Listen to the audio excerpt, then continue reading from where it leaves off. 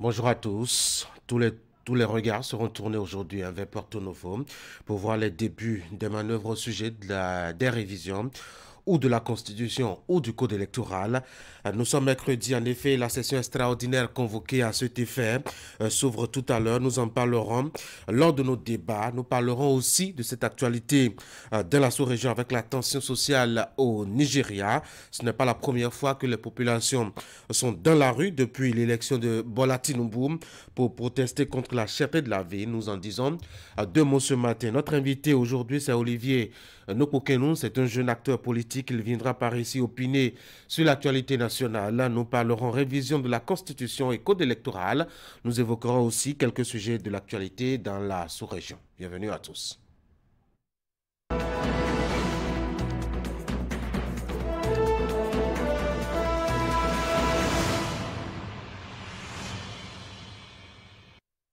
Et cette actualité donc euh, qui fera la une, je dois dire, euh, des informations de la journée, eh ben, euh, Fraternité la propose d'ailleurs en manchette ce matin. Opinion de Salomon Abou, avocat à la Cour. Il dit ceci, possibilité des élections 2026 sans une modification de la loi fondamentale. lisez et comprenez aux pages 3 et 4. Proposition de révision des lois électorales du BR, de l'UPR et de LD. Guerre de positionnement pour 2026, c'est une analyse donc du quotidien. Et puis un dernier titre que vous aurez du mal à lire hein, euh, au bas de votre petit écran. Troisième édition du Festival international des films de femmes de Cotonou. L'édition de la maturité avec le soutien de Canal Plus à Impact. Nous passons maintenant à Matin Libre, guerre de succession autour de Patrice Talon. Joseph Djabrenou aussi dans le, dans le casting. Pardon. Le journal se pose une euh, grosse interrogation pour avoir mis en vente son petit-fils. Eh bien, un sexagénaire a été arrêté à Abomey, vie nous apprend le euh, journal ce matin. Nous sommes maintenant avec les euh, quatre euh, vérités. Euh, modification du code électoral et révision de la Constitution. Eh ben, les clarifications du docteur Sedami Medegan Fagla.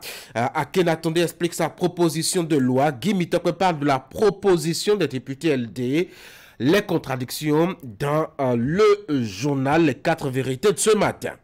Et puis vous avez justement hein, le tout premier titre, audience au cabinet du représentant résident de la CEDEAO au Bénin, la fondation plaide pour la levée des sanctions contre le Niger, le Mali et le Burkina.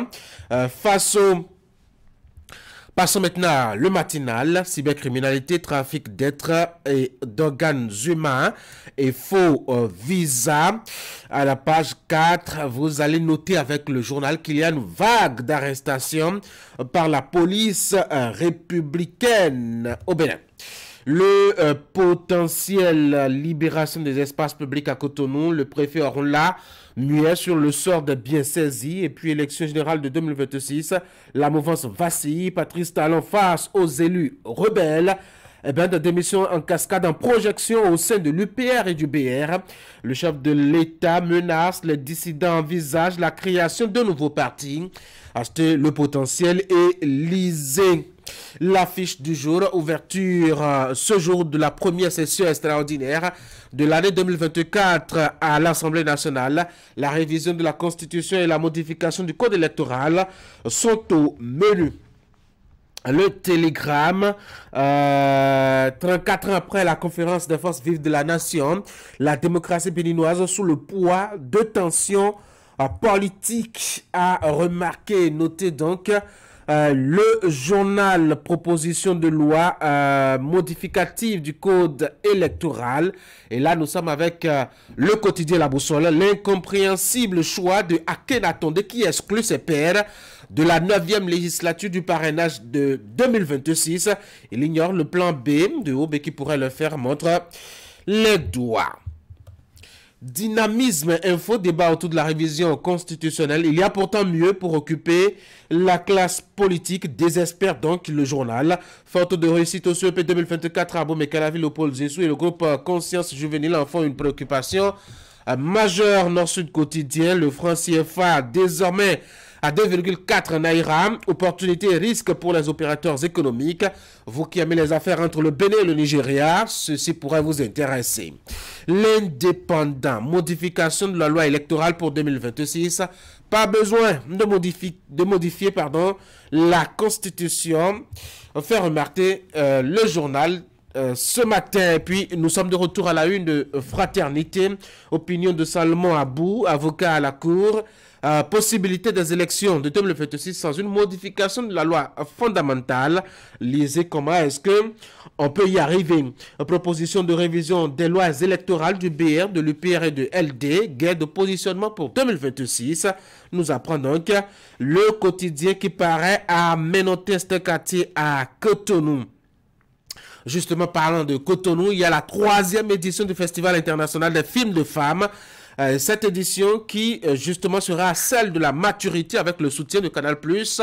Impact, c'est le dernier titre tout en bas de votre petit écran. Voilà donc ce qu'on peut retenir, retenir pardon, à la une. Les informations ce matin dans la production des euh, canard de ce matin à l'intérieur de Fraternité. Vous avez déjà hein, cet avis de cet avocat au barreau de Cotonou euh, qui dit qu'il y a euh, possibilité pardon, d'observer et de tenir les élections de 2026 sans forcément s'obliger eh à la relecture de la loi fondamentale. Comment est-ce que ça peut se passer? L'avis, la lecture, l'opinion partagée par Salomon Abou, je rappelle, qui est avocat au barreau de Cotonou, eh bien, il s'est confié donc à Fraternité. Euh, son avis s'étale sur deux pages que vous pourrez lire au 4, au 3 et au 4 donc de la production de fraternité ce matin. Et justement, parlant de cette actualité toujours, hein, vous avez donc que euh, on a au-delà de ces différentes propositions, eh ben, la lecture a fait que c'est une guerre de positionnement pour 2026 qu'il faut y lire. Euh, les propositions de révision de lois électorales du BR, de l'UPR et de LD euh, ont un seul objectif, en tout cas, c'est de parvenir à, se mettre en bonne position pour 2026, que l'on soit de l'un de ces trois partis politiques. En tout cas, c'est l'avis et donc, euh, partagé par Fraternité ce matin en sa page. En sa page 2 à la 6, vous avez hein, le récapitulatif de l'actualité des sports. Eh ben, euh, qu'est-ce qui se passe au-delà euh, du Bénin, notamment avec la messe footballistique hier mardi. Nous sommes donc au niveau donc de la Champions League. Fraternité vous fait un petit point. En attendant donc que Ali Moumouni passe par ici pour le bulletin des informations euh, sportives. Et si vous aimez l'actualité euh, africaine, allez à la page 9 de Fraternité. La RDC avec l'ONU qui appelle à mobiliser 2,6 milliards de dollars pour financer un plan de réponse humanitaire là-bas. C'est la galère justement dans ce pays au niveau de l'Afrique euh, centrale. Quand je parle de l'Afrique centrale aussi, vous avez le Cameroun. Euh, Fraternité vous propose un article sur les tarifs de transport qui augmentent suite à la hausse du prix du carburant. C'est pour dire que ce n'est pas seulement qu'à Cotonou qu'on galère hein, pour se procurer le carburant. On va donc passer maintenant au bulletin d'information avec euh, une dame. Elle est venue un peu plus précocement hein, cette semaine. Nous sommes mercredi. Ingrid Day commande pour remplacer au pied levé, Teddy Goudala. Ingrid, bonjour. Bonjour Tanguy et bonjour à tous. Dans le bulletin que vous aurez à présenter, ben, les images de la revue des finances publiques. Cela a été lancé hier par le secrétariat général du ministère de l'économie et des finances. Et puis l'exercice a permis aux participants d'échanger autour du plan global de gestion du système des finances publiques 2023. 2027, on en dira deux mots. Et puis on viendra justement là-dessus euh, lorsqu'on sera au niveau de la rubrique économique. Ce sera avec Clément Achadé qui proposera un grand zoom en tout cas sur cette actualité-là. Et puis en sujet 2, euh, comme titre, on parle également religion dans ce bulletin avec le ministère international de la transfiguration de Christ qui organise du 22 au 25 février 2024 un vaste programme de prière. Vous voyez, c'est intense. On peut s'évanouir miracles, des prières de délivrance et de combat sont au menu de ces quatre jours de prière intense. Donc, ah bon, mais vie vous avez envie d'y participer? Suivez le bulletin, vous aurez les détails tout à l'heure. Voici donc le bulletin.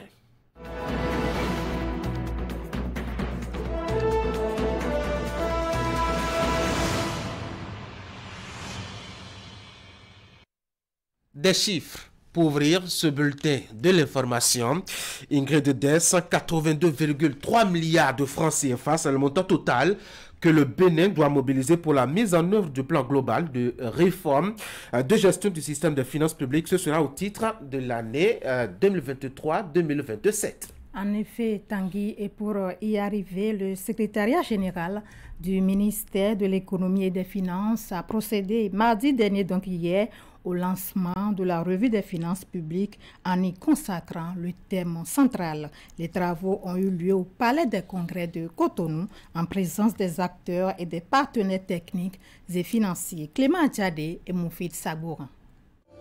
Pour une meilleure gestion des finances publiques, le ministère de l'économie et des finances se dote d'un nouvel outil important au cours de la 14e revue des finances publiques édition 2024, son secrétariat général lance officiellement le PGR-GFP, Plan global de réforme du système de gestion des finances publiques. Un nouveau plan global qui encadre l'ensemble des réformes visant la poursuite de l'amélioration de la qualité des dépenses publiques, la dématérialisation des procédures, le patrimoine non financier de l'État et l'inclusion financière. C'est l'occasion d'échanger entre les parties prenantes des choix opérés et des orientations retenues dans la conception et la mise en œuvre des réformes des finances publiques. La particularité de cette édition est qu'elle sera consacrée au lancement du nouveau plan global de réforme du système de gestion des finances publiques PGGFP 2023-2027. Ce document, qui constitue un critère pour le décaissement de l'appui budgétaire de l'Union européenne pour l'année 2024, se révèle être le nouveau cadre de référence en matière de gestion des finances publiques pour les prochaines années. L'élaboration du plan global a été faite dans une approche participative, avec une forte implication des partenaires techniques et financiers du groupe macroéconomique et finances publiques qui rassurent de la qualité du document élaboré. Loin d'être une revue de trop, cette quatorzième édition pose les bases des réformes pouvant hisser le Bénin au rang des meilleurs pays dotés d'un système innovant, inclusif, aligné sur les standards internationaux. Elle sert également de socle pour la mise en œuvre des politiques publiques pour un développement durable. Permettez-moi de réitérer la disponibilité des partenaires techniques et financiers à continuer à soutenir les réformes de la gestion des finances publiques dans un contexte économique et social particulièrement difficile. Je voudrais donc, à l'occasion de cette revue, rassurer l'ensemble des partenaires techniques et financiers, ainsi que tous les participants, que nous avons pris toutes les dispositions pour garantir un meilleur suivi et une célérité dans la mise en œuvre de toutes les activités contenues dans ce nouveau plan. Ce plan global 2023-2027 est structuré en cinq axes stratégiques, dont 25 programmes et 244 actions déclinées en activités opérationnelles. Avec un coût global de 182,3 milliards de francs CFA, il permettra au Bénin de maintenir sa place de champion en matière de transparence budgétaire.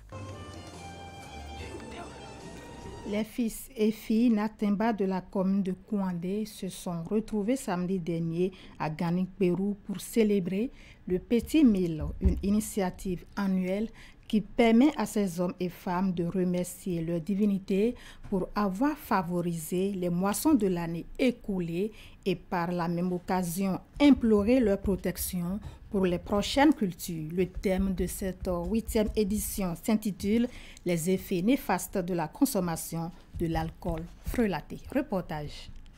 Des animations folkloriques diverses et variées des peuples Natemba de la commune de Kwandé pour célébrer l'édition 2024 à Kanik Pérou de la fête identitaire du Petit Mille appelée Yopaka.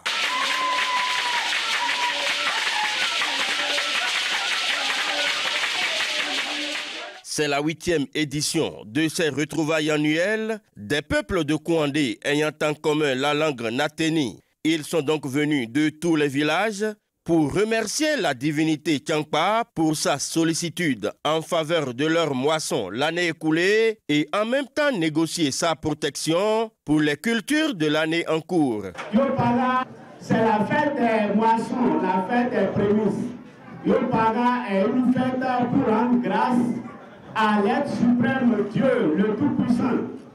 Ensuite, aux divinités et principalement à celle dite Champa. C'est aussi l'opportunité d'implorer les manas de nos ancêtres pour les meilleures récoltes, l'an qui suivra. Occasion de rencontres et de brassage, Yopaka permet également aux fils et filles Natemba de penser à leur développement dans l'unité. Je tiens à souligner l'importance de l'unité. En tant que peuple, nous sommes plus forts que lorsque nous sommes unis.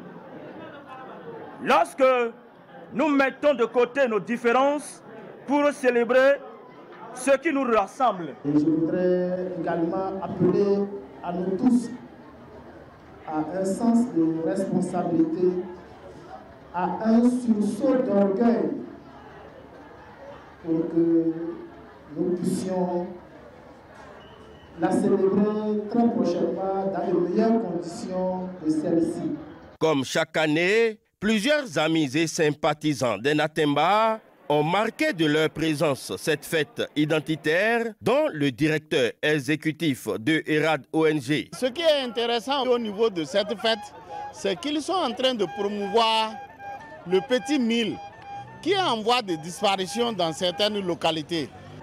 Nous, au niveau de ERAD ONG, il faut encourager ces genres d'initiatives pour que les générations à venir comprennent que lorsque vous oubliez votre culture, lorsque vous oubliez ce que vos parents ont toujours fait, c'est que vous ne pouvez pas être épanoui et c'est ce qui justifie le fait que je viens pour apporter ma modeste contribution pour que les générations à venir comprennent pourquoi nos aïeux avaient initié cette fête qui, pour ma part, est une fête qu'il faut toujours encourager? C'est donc pourquoi, à cette célébration, la pâte du petit mille a été dégustée accompagné de la boisson locale, Tchoukoutou. Et pendant ce temps, le ministère international de la transfiguration du Christ invite toute la population béninoise à prendre part à un vaste programme de prière qu'il organise du 22 au 25 février à Bomekalavi.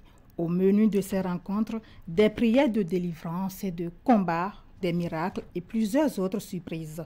Briser les hôtels de malédiction familiale, c'est le thème autour duquel vont se dérouler ces séances de prière.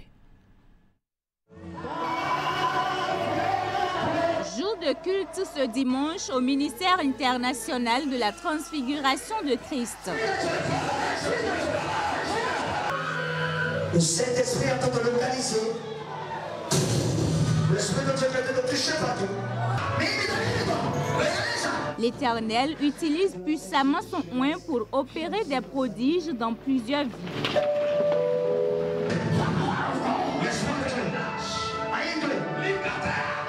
Cette manifestation de l'Esprit de Dieu préfigure de l'intensité de la démonstration de la puissance de Dieu qui s'annonce pour la semaine.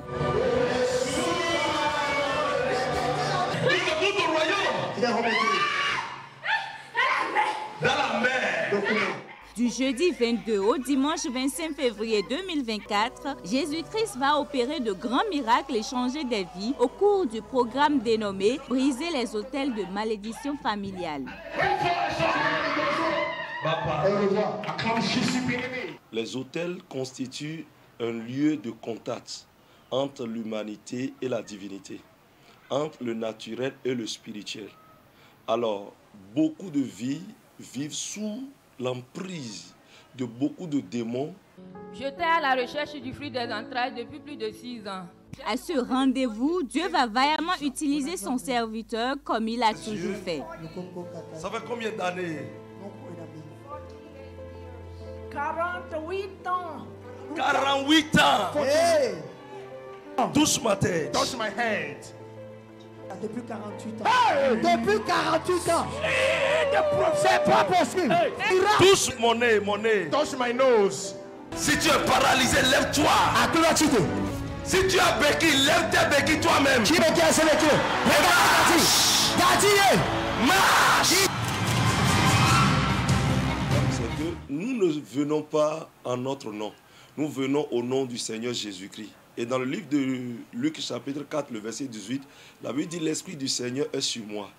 Et il m'a oint pour annoncer la bonne nouvelle, pour libérer les captifs et pour penser le cœur de ceux qui ont le cœur brisé, pour guérir les malades et pour proclamer une année de grâce. Ça serait un programme de délivrance terrible. Ça serait un programme prophétique ça sera un programme où le Saint-Esprit va restaurer les vies. Au menu, diverses lignes de prière, conférence des donateurs samedi pour bâtir l'auditorium Orididi du ministère international de la transfiguration de Christ.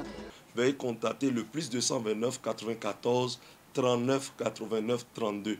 Plus 229 94 39 89 32 sur WhatsApp ou pas appel direct. Ce programme de quatre jours va s'achever dimanche par un culte d'action de grâce. L'église est sise à Kokokodji, Oiseau Blanc, dans la commune d'Abomey-Calavi. En image maintenant, les communautés de Djougou sont sensibilisées sur la mutation génitale pratiquée depuis plusieurs décennies et savent désormais quelles pratiques adopter. Elles ont été entretenues sur la question par les ministres en charge des Affaires sociales et de la microfinance et de l'industrie et du commerce. C'est à l'occasion de la Journée internationale de lutte contre ce phénomène. L'initiative s'inscrit dans le cadre du projet Souhaite Bénin et ce sera tout pour ce bulletin d'information que je vous remercie d'avoir suivi. Ingrid, merci beaucoup pour ce coup de main matinal. On va se voir certainement demain pour euh, votre euh, passage officiel pour ce qui concerne donc l'aventure hebdomadaire quand on est sur Actu Matin, euh, l'émission matinale de Canal 3 Bénin. Je vous souhaite donc de passer une très bonne journée jusqu'à demain matin quand on se verra. Mesdames et messieurs, dans la suite d'Actu Matin, le bulletin des informations sportives.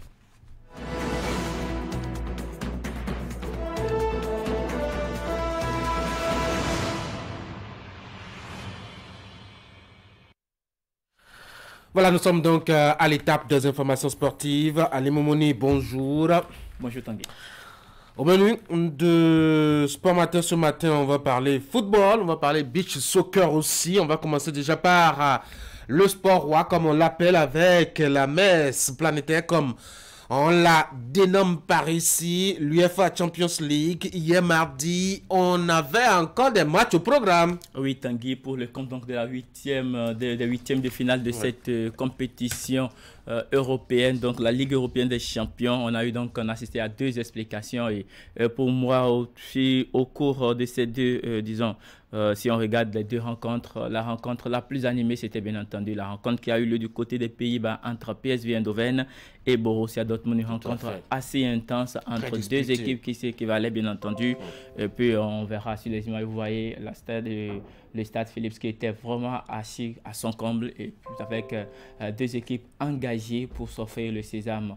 Et pour euh, ce début, je dirais tout simplement que c'est euh, Dortmund qui prend une belle option, en tout cas en tenant en échec son adversaire à domicile, ce qui, ma foi, ne changera pas grand-chose puisque l'avantage du but à l'extérieur ne compte plus désormais en Ligue européenne des champions. Mais vous le voyez, c'est Malen qui ouvre le score pour son équipe de Dortmund. Malen qui a été lancé dans la, dans la vie professionnelle de foot dans sa carrière professionnelle par cette équipe du PSV et donc il n'a pas pu célébrer ce but et euh, par la suite c'est le capitaine de cette formation du PSV Eindhoven, De Jong, qui va permettre à son équipe de revenir au score un but partout entre les deux équipes. On fait le point des différents résultats. De l'autre côté, en Italie, à San Siro, Inter était face à Atlético de Madrid, rencontre qui s'est soldée par la victoire de l'équipe des Interistes, un but à également. Voici pour vous les résultats euh, des deux explications disputées hier, Tanguy. On ne s'attendait quand même pas à ce que l'Inter remporte cette explication. C'est vrai qu'elle a eu à s'offrir quand même les meilleures occasions euh, de cette explication. Et finalement, ce sont les Italiens qui s'offrent l'avantage au cours de cette, euh, de cette explication. La suite, ce sera ce soir avec deux rencontres pour donc boucler les manches allées de ces huitièmes de finale de la Ligue européenne des champions. dont Porto sera à domicile pour affronter l'équipe d'Arsenal. Et puis de l'autre côté, en Italie, ce sera Naples qui affrontera l'équipe du FC euh, Barcelone pour faire le tour donc de ces rencontres comme temps pour la phase aller des huitièmes de finale de la Ligue européenne de champions. Tanguy, on revient au pays pour parler toujours football avec euh, la Super Ligue professionnelle du Bénin dont les rencontres de la troisième journée démarrent ce soir avec au total huit explications au programme. Aspak affrontera Ayema ce soir à 16h. Ce sera du côté de Tofor. Bani aura pour adversaire l'équipe de Dadje FC. Les Dragons de l'UEME affronteront euh, AS Cotonou. Dynamo FC d'Abomey sera l'adversaire de AS Takouné. Espoir FC jouera contre l'Union sportive des Cavaliers de Niki euh, de l'autre côté euh, de Paubert. La jeunesse sportive de cette euh, localité, bien entendu, c'est le nom de l'équipe. Hein. Jeunesse sportive de Paubert affrontera Coton FC. Coton FC qui est en difficulté. Après donc les deux premières journées, Coton n'a encore enregistré aucun succès. Donc zéro point pour la formation de Vida. L'Autopopo affrontera Damissa et pour finir, la Requin FC de l'Atlantique affronteront l'équipe de, la, de Sobemap Sport. On va descendre d'un cran pour parler donc des rencontres de la Ligue 3, c'est-à-dire le championnat amateur. On va assister donc aux dernières explications comme temps pour les phases allées de ce euh, championnat de euh, Ligue 3. Après donc un report, donc la dernière journée au niveau de la zone A aura lieu ce jour et Talon affrontera à 16h Espérance euh, du côté de Huida. Busport affrontera du côté de Jeff à l'équipe de l'USS Craqué. La JAM aura pour adversaire Tambour. Jeunesse sportive de la Vallée affrontera Cefes. C'est bien entendu à, à, à, à pardon. Et puis, pour finir, Azos sera l'adversaire à jouer de Sitatunga. On va toujours parler football, mais cette fois-ci, d'une de ses dérivées, c'est bien sûr le Big Soccer. Hier, on pouvait imaginer retrouver le Sénégal en cas euh, de finale de cette explication parce que lors de ce euh, match, comme temps pour la troisième journée, les Lions de la Teranga avaient pris l'avance sur les l'équipe des Japonais. Malheureusement, lors euh, du, des prolongations, si on peut le dire de cette façon-là, euh, le Sénégal s'est incliné sur le score de 6 buts contre 4. On fait le point des différentes explications disputées hier. Voici les résultats. L'équipe de Belarus s'est inclinée 3 buts à 1 face à la Colombie, ce qui n'empêche pas cette formation de Belarus de valider son billet qualificatif. Il y a la victoire du Portugal 5-2 face à l'Oman. Il faut noter la victoire du Japon dont je parlais tout à l'heure face au Sénégal 6 buts contre 4. Et puis la victoire du Brésil qui composte aussi son billet qualificatif pour les quarts de finale. 3 buts contre 4, c'était le, le score qui a sanctionné ce match face au Mexique. La suite, ce sera les quarts de finale qui vont démarrer déjà demain. Mais pour le moment, on vous donne le tableau de ces différentes explications qui vont meubler donc le tableau des quarts de finale. Le Brésil affrontera le Japon. Cela aurait pu être le Sénégal, malheureusement, pour les Lions de la Teranga qui sont sortis de la compétition. Ce sera à partir de 12h30 demain, jeudi 22 février 2024. Belarus aura pour adversaire le Portugal. L'Iran jouera contre les Émirats arabes unis. Et pour finir, on aura la rencontre entre l'Italie et le Tahiti. Tanguy, une formation tahitienne très, très, très compétitive cette saison. Absolument, avec ces merveilles euh, qu'on va réaliser justement à ce propos. Allez, on va espérer en tout cas que la formation ait beaucoup de chance, non? Bien entendu, pour la, suite de la compétition. Absolument. On a fait le tour là? Ouais, à demain, Tanguy. C'est bon? Oui. Allez, prenez soin de vous, Ali Moumouni. Vous passez une très bonne journée. On va se voir demain quand ce sera jeudi. Mesdames et messieurs, on va passer à notre invité ce matin. Voici donc l'invité politique.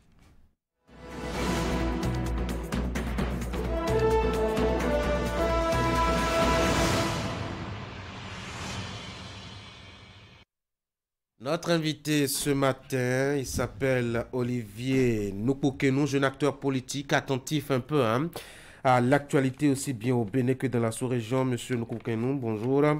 Bonjour, monsieur le journaliste. Bienvenue sur l'Actu Matin où on fera hein, rapidement avec vous un tour d'horizon de l'actualité d'ici et d'ailleurs.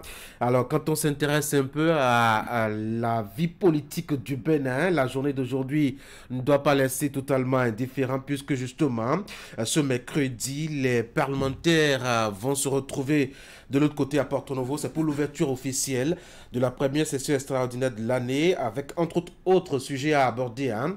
Vous le devinez si bien, la question des révisions de la Constitution et ou euh, du code euh, électoral. D'abord, première impression, à quoi est-ce que vous vous attendez? Oh, J'espère, hein, bien sûr, que les députés Mm. vont surtout échanger sur le, le projet et parvenir à un consensus et qui va aboutir pour moi à une réforme qui permet de régler le problème qui est posé. On révise la Constitution ou on bloque et puis on va vers le code électoral? Oh, pour moi, euh, si nous sommes en train d'en parler jusqu'à présent, c'est parce que c'est c'est pertinent de, de, de toucher, Réviser. de réviser. Donc, euh, pour moi, euh, j'espère la révision. Certains, et c'est la voix, je n'ai pas fait de sondage, mais en tout cas, les personnes que j'ai rencontrées, parmi les personnes que j'ai rencontrées, je crois que la majorité euh, dit quand même qu'on n'avait pas besoin justement d'aller à la révision constitutionnelle pour, euh, en tout cas, euh, avoir des tests qui organisent euh, de façon rigoureuse les élections générales de 2026. Pourquoi on veut se compliquer la vie? Alors, est-ce que toucher, réviser la Constitution, c'est se compliquer la Ça vie? pourrit l'atmosphère, l'ambiance politique depuis. Oui, parce qu'on est dans une stratégie de manipulation. Ah oui? Parce que tout simplement, euh, lorsqu'il faut bien faire et que il faut permettre euh, à, à nos tests d'être en phase, euh, pour moi, il n'y a pas un enjeu qui nous fait peur au point de dire qu'il ne faut pas toucher à la Constitution. On n'a pas peur, on se dit est-ce que c'est opportun puisqu'on l'a déjà révisé en 2019, on on va pas on réviser la constitution chaque année ou tous les deux ans. On va pas continuer à manipuler euh, la constitution pour en faire comme euh, un test ordinaire euh, qu'on peut toucher chaque matin avant de prendre sa tasse de thé. Oui, je, je suis d'accord avec vous. Je suis d'accord avec vous, mais les raisons ont été évoquées et vous comprenez que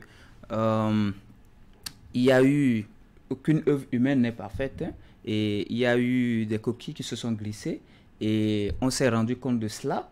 Et, et- et si on s'est rendu compte, faut pas dire bon, enfin, on n'a qu'à laisser ça là parce qu'il faut pas toucher à la constitution, mais quand est-ce qu'il faut le faire? Euh, Quelle garantie on a Euh, Qui va le faire après? Est-ce qu'on aura suffisamment confiance à la personne qui va le faire après? Moi, je suis plus dans la logique de dire bon, euh, je préfère euh, fonctionner, coopérer avec le diable que je connais que l'ange que je ne connais pas encore. Est-ce que vous voyez? Et toucher la question, vous voyez, les, dans les pays développés, les gens ont fini avec ce débat. Quand il y a un problème, il faut rapidement régler. Et si c'est la Parce caution... qu'ils ont une maturité démocratique qui leur évite de soupçonner, par exemple, un troisième mandat, de soupçonner des retouches euh, à la fois intéressées qui arrangent un camp politique, etc. Ils, sont, ils ont passé ce- cette étape et nous, on est encore en train de se construire. Monsieur le journaliste, je peux vous dire que nous avons une maturité politique. Ah oui, sérieusement Eh bien oui. Avec je- des élections où il y a des violences encore tout récemment là, on, on est mature là. Eh bien, eh bien, bon, comparez. Comparez, vous avez des élections aux États-Unis, il y a eu des, des- des violences. Il y a, il y a- on a dénoncé Pas- des fraudes. Et jusqu'à présent, le président qui est parti n'a jamais concédé sa victoire. Mm. Vous comprenez? Donc, euh, et c'est la même chose un peu dans, dans plusieurs pays, même en France. Vous avez vu les, les histoires de Gilets jaunes ou des, ou des histoires de, des contestations qu'on peut avoir. Est-ce que vous voyez, même le vote des lois et tout ça, comment ça se passe? Donc, euh, euh, cessons avec l'autoflagellation. Cessons de dire qu'on n'est pas mature. Nous avons eu beaucoup d'acquis. Nous célébrons moins nos succès. C'est ça qui me gêne beaucoup au Bénin. On célèbre moins nos succès. Et on, on est toujours à- dans la manipulation. C'est vous les acteurs politiques. Oui, non, on, on est- la vie. Je vous, suis d'accord. Je suis d'accord. Oui. On est toujours dans la manipulation. Vous voyez ce débat de troisième mandat qui nous pourrit actuellement la vie. Je dis, mais c'est de notre part, ce n'est pas sain. Ah oui, pourquoi? On devrait, on devrait, parce que vous voyez, voici une question que nous avons changée en 2019 et nous avons introduit une réforme majeure qui dit que personne ne peut être euh, président plus de deux fois, personne ne peut faire plus de deux mandats de sa vie. Vous avez déjà eu ça dans une constitution dans la sous-région. Et pourtant, lors de Et nous sa l'avons sortie- jamais célébré. Oui, pourtant, lors de sa sortie récente, et on va y revenir, Patrice Talon disait qu'en l'État, avec cette constitution, eh bien, lui pourrait quand même euh, réclamer un troisième mandat et l'obtenir parce qu'il y a des coquilles qui lui permettent justement de, le- de le faire. Et bien sûr. Alors, Si- justement, ça soulève encore, enfin, ça complique davantage l'atmosphère autour de cette révision de la Constitution. Alors, euh, pour moi, c'est clair, nous avons une vision qui est là. Nous avons des inquiétudes. Et cette inquiétude, au jour le jour, les acteurs travaillent à prendre ça en compte. Et si nous avons la possibilité de les renforcer davantage, il faut le faire. Et c'est ce que j'ai compris même à travers cette révision qui s'annonce, ou même cette disposition, les acteurs veulent la renforcer davantage pour empêcher qui que ce soit de, de même s'il y a euh, changement de, de république, parce que c'est toujours ça, la peur qu'on puisse y aller. Est-ce que vous voyez? Mais je, moi, ce qui me fait rire beaucoup hein, dans tout ce débat-là, les, les vrais, euh, je veux dire, les vrais opposants, ceux qui sont contre tout ça, quand ils imaginent, euh, je les vois, c'est le pro-Poutine.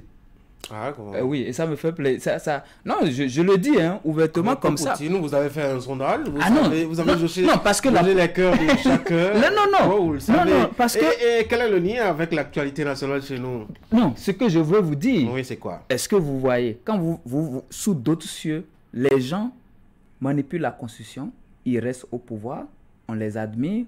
Pendant nous avons quelqu'un en face qui dit je veux régler définitivement ce débat. Je ne veux pas qu'on ait ce débat à chaque fois qu'il y a des élections qui se pointent à l'horizon, en tout cas en fin de, de régime, et qu'on ait une fois pour de bon une disposition qui nous permet de ne plus avoir ce débat et de parler d'autres choses qui peuvent nous intéresser. Mais on, on préfère toujours être dans ce débat, être dans la manipulation et ne pas parler des choses qui intéressent que vraiment la les manipulation, ce n'est pas de votre côté au niveau de la mouvance. Les choses sont simples. hein. La Cour constitutionnelle a été saisie. Elle a rendu une décision pour dire il y a deux points qu'on peut toucher au niveau du code électoral. Oui. Vous engagez le débat, vous ne parlez plus du tout du code électoral, vous parlez de révision de la Constitution, vous ne parlez même plus de parrainage, vous parlez d'ordre des élections. Est-ce que ce n'est pas vous qui manipulez finalement? Alors, moi, je- les arguments, d'abord, qui m'ont convaincu, moi, je vais essayer de- Oui, de- d'en parler. oui. Voilà. Alors, l'ordre des élections. Le choix qui est fait aujourd'hui, c'est de permettre d'avoir les élections, parce que la- l'actuelle constitution Impose après- les impose législatives les communales législatives et communales avant les présidentielles. Oui. Alors, et le, le choix que nous voulons faire maintenant, c'est de faire les élections présidentielles avant les élections législatives. Et je vous rappelle que la proposition actuelle réduit le mandat du président actuel de deux mois. Et ça, c'est grave. Ce qu'il est prêt à accepter. C'est très grave. Pourquoi? Parce qu'avant, il avait déjà eu 45 jours supplémentaires. Maintenant, vous lui arrachez deux mois. C'est-à-dire que à tout instant, on peut manipuler le mandat présidentiel, qui est un mandat important, impératif et non négociable. Vous pouvez le manipuler à tout moment quand vous voulez. Ce n'est pas possible dans une république qui se respecte. Tanguy, oui. lorsque nous voulons, nous sommes en face d'une situation, il faut faire une réforme.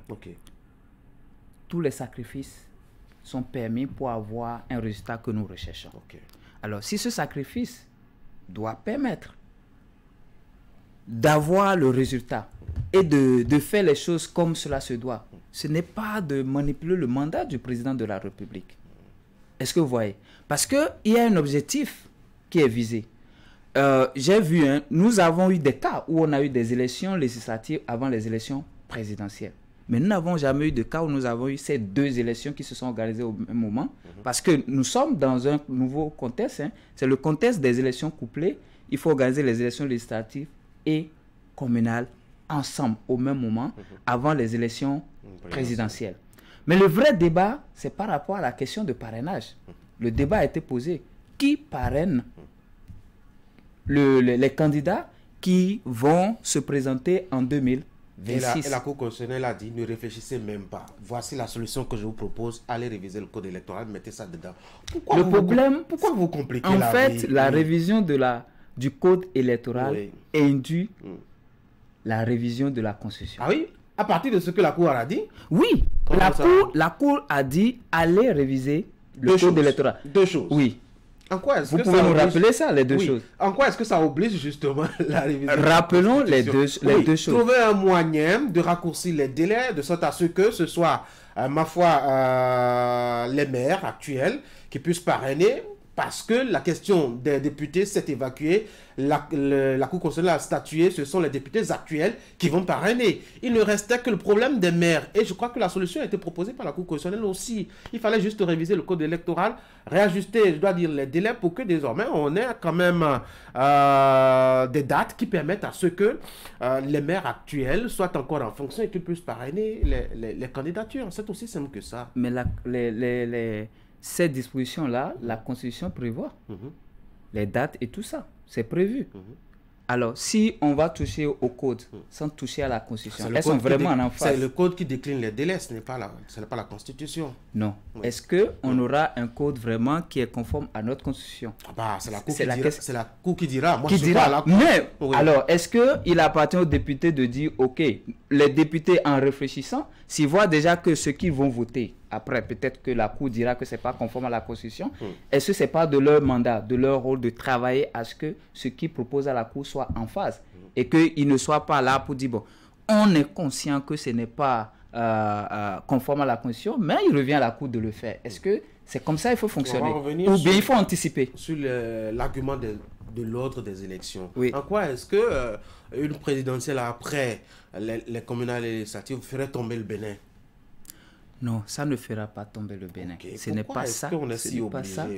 Mais non, moi, je, vous ai posé la question fondamentale, la question du parrainage. Est-ce que vous voyez Il y a un flou là, et on risque d'avoir une situation où des nouveaux élus, par endroit, mhm. seront en train de parrainer, pendant que les anciens euh, seront en train de parrainer par endroit ce qui n'est pas normal. Et la Cour a résolu le problème. En disant quoi? En demandant d'aller réviser le code électoral. Je viens de vous dire que la révision du code électoral entraîne normalement d'office. L'ordre de la présidentielle. On a dit qu'il faut organiser forcément la présidentielle avant les communales législatives. Pourquoi? En quoi est-ce que c'est pertinent? Alors moi, je vais vous dire, hmm. ça, je vais être vraiment politique hmm. en répondant à cette question. Oui, politique. Oui, justement. oui, Je vais répondre à ces questions. Parce que ça, peut-être, c'est quelque mm. chose qu'on ne le dit pas ouvertement, mm-hmm. mais il faut que le peuple sache. Moi, le, si on connaît un peuple, on sait comment les gens fonctionnent. Et nous avons, parce que euh, la sagesse se base sur l'expérience et ce que nous avons vécu jusque-là, avec notre ère démocratique. Vous imaginez, hein, parce que ce choix, parce que c'est vraiment bizarre, mais mm. vous imaginez un président qui est élu et qui vient retrouver des maires, des députés qui ne sont pas acquis à sa cause. Ça est arrivé plusieurs fois. Le Très bien. pas vous savez ce qui se passe après? Le Bénin ne s'est pas arrêté. Non, vous savez ce qui se, non, passe? Non, c'est pas arrivé plusieurs fois parce que je vous rappelle toujours le contexte. Hmm. Le contexte qui est arrivé, c'est seulement au niveau des euh, comment on appelle des députés où on a eu des élections législatives avant, hmm. mais pas communales. Je ne sais pas si vous voyez.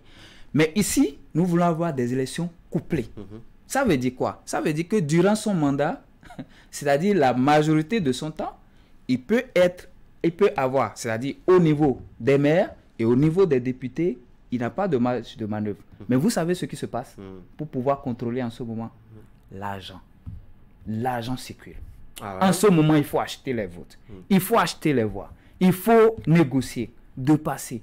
Mais est-ce qu'il ne faut pas finir avec ça Patrice dos à ça? Quand Patrice Talon prenait le pouvoir en 2016, lui-même l'a chanté partout. Hein. Il n'avait pas de député bannière Patrice Talon. Il n'avait pas de maire Bannier Patrice Talon. Pourtant, il a tenu ce Bénin, il a fait des merveilles, comme vous le dites. Ah oui. Il a besoin justement d'être intelligent, d'être stratège, de négocier. Et c'est cela la politique, savoir négocier avec l'adversaire. Et si l'argent peut faire partie des questions de négociation, pourquoi est-ce que ça devrait vous créer des maux de tête? Non, pour moi, parce que je suis jeune et je rêve désormais, moi en tout cas, et je pense la génération, la nouvelle génération, veut que dans le monde politique, que ne soit plus l'argent qui parle beaucoup, mais c'est les idées et qu'on puisse dans une logique de, de, faire bouger les lignes, qu'on puisse être focus sur le développement sans forcément qu'on est en train d'acheter tel député ou tel maire pour pouvoir avoir tel ou tel résultat qui devrait être normalement le souci de tout le monde. Est-ce que vous voyez? Mais ce que là où j'active, parce que vous avez fait une comparaison avec 2016, comparaison n'est pas raison, parce que quand vous prenez ici le député qui sera élu, le maire qui est élu, c'est pour cinq ans. Hein. Il est élu juste deux mois ou trois mois avant le président. Ils sont comme ça jusqu'à la fin. Est-ce que vous voyez? Alors que dans, dans l'autre cas, si le président vient, euh, peut-être il a au plus trois, mois, euh, trois ans, il travaille et après il, se réajuste pour se repositionner. Mhm. Ce qui n'est pas le cas. C'est que vous partez tous. Donc, sur le plan politique, il y a de risques. Et quand vous voyez des risques sur le plan politique, ça peut alors, réviser la Constitution. Non, ça peut jouer sur la stabilité mm. du pays. Ah, ah. Et donc, nous sommes en train de jouer aussi sur une question de stabilité, de paix actuellement. Mais que tout le monde ne voit pas parce que tout le monde est focus sur l'intérêt dit qu'est-ce que Patrice Talon veut? Mais ce que Patrice Talon veut, il a déjà dit. Il veut que dans ce Bénin, nul ne puisse faire plus de deux mandats de sa vie. De sa vie. En quoi est-ce que les propositions de l'UPR sont pertinentes quand c'est pour arracher le droit de parrainage aux députés et maires actuels? J'ai l'impression que l'objectif fondamental, c'est de tout faire pour éviter que les députés et les maires actuels parrainent. Bon, heureusement... Que ce soit révision de la Constitution ou code électoral, l'objectif unique et principal, c'est de tout faire pour que ce soit certainement ce qu'on va élire en 2026 qui parraine. Pourquoi c'est l'objectif prioritaire Heureusement, vous avez dit, vous avez l'impression. Oui, euh, ah, voilà. les éléments sont là. non. Démonter, démonter, démonter si ce n'est pas le cas. Eh ben, je, n'ai aucun élément pour confirmer aussi ce que vous dites. Ah ouais? Est-ce que vous voyez? Donc, il y a aucun... Même vous aussi. même vous aussi, vous, n'avez aucun élément pour confirmer ce que vous dites. Je vous donne mes éléments. Au niveau de la révision de la Constitution, vous dites l'ordre des élections, parce qu'il faut la présidentielle d'abord avant les législatives. Moi, je vous ai donné des arguments tout à l'heure. Exactement. Au niveau du code électoral aussi, l'UPA qui vient, qui dit désormais, même si on doit organiser, etc., on doit réviser le code électoral, ce sera les élus de 2026 qui vont parrainer. Donc, les deux objectifs se rejoignent, quelle que soit l'opération que nous menons. Oui, mais est-ce que ça veut dire ce que vous avez, vous avez affirmé? En disant que, ça veut dire pour pouvoir contrôler le parrainage Non. On va parler de la sortie, la toute dernière hein, de Patrice Talon, justement par rapport à, cette affaire-là. Est-ce que cela n'a pas compliqué un peu, je dois dire, l'avantage, euh, l'atmosphère euh, politique? Quand on voit un peu, euh, au départ, les gens ont commencé à dire est-ce que c'est pas dans la visée d'un troisième mandat, etc.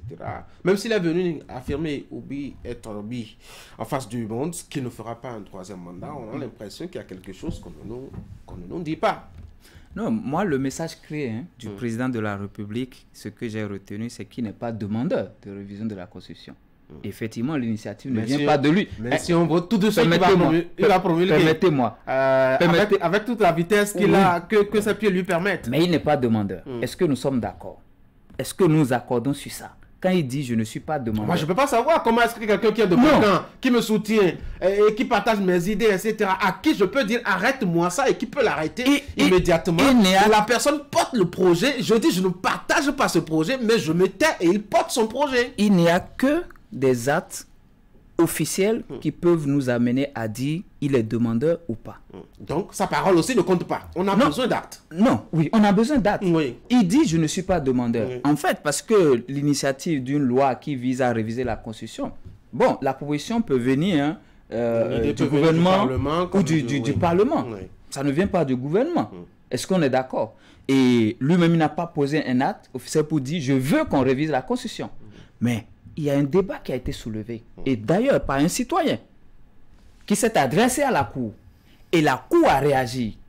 Parce que euh, nous sommes toujours dans la manipulation, en pensant que parce qu'un citoyen l'a fait, quelqu'un est toujours derrière qui lui a demandé de faire.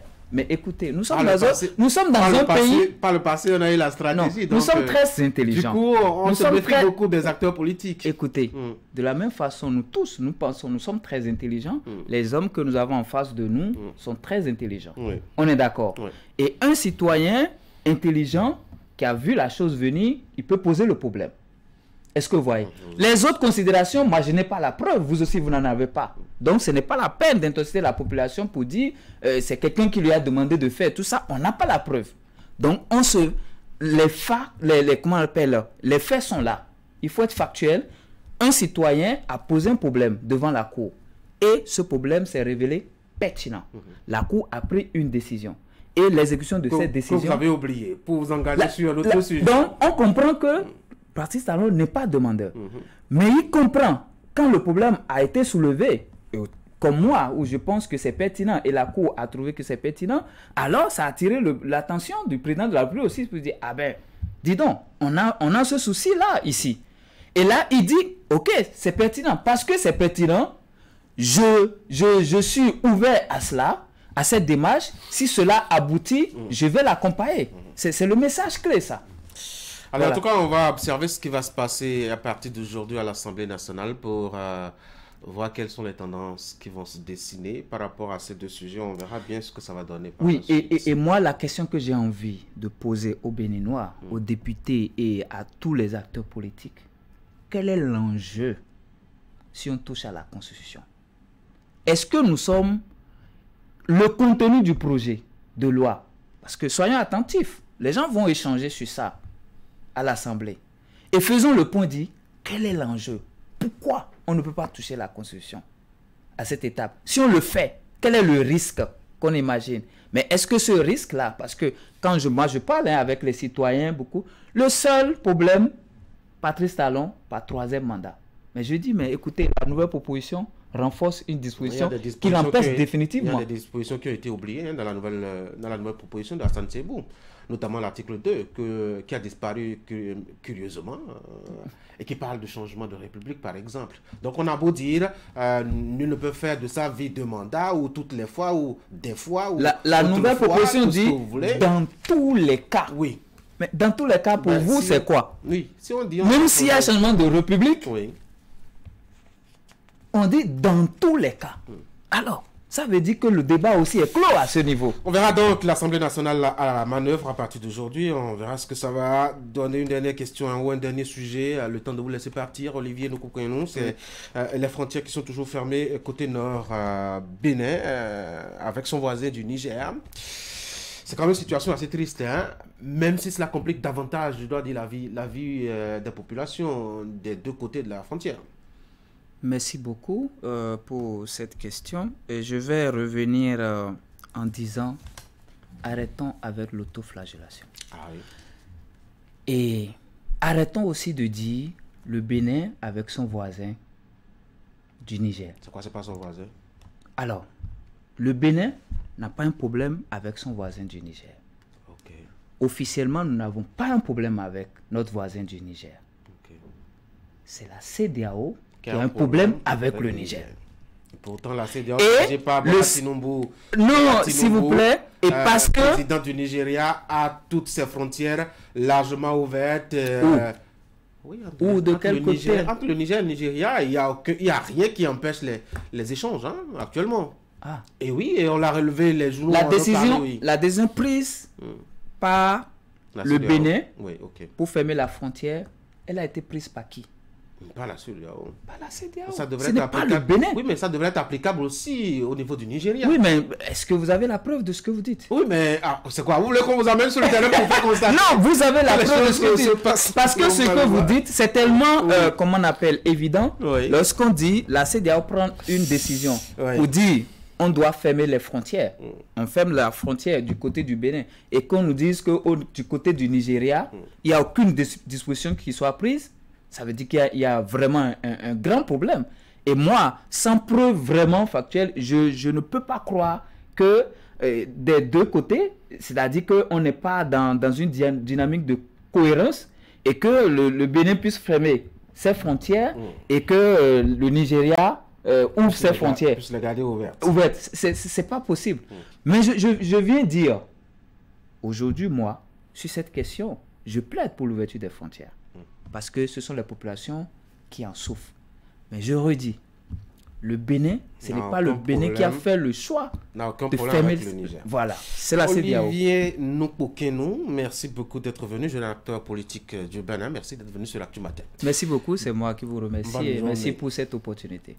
Allez, mesdames et messieurs, vous allez sur maintenant la rubrique euh, économie. Ce sera avec euh, euh, Clément Attiadi, comme je l'annonçais hein, pendant les titres du bulletin de l'information. Et bien, le Bénin euh, continue sa marche vers l'assainissement de la gestion des finances publiques. Et après les réformes de dématérialisation de procédures au sein des différentes régies de l'État, le ministère de l'économie et des finances, grâce au soutien des PTF, dispose désormais d'un nouvel outil. Vous avez pu le suivre le reportage pour améliorer sa gouvernance financière. Le dit document euh, n'est que le plan global de réforme euh, du système de gestion des finances publiques cela a été dévoilé hier seulement euh, au cours de la 14 14e revue des finances publiques.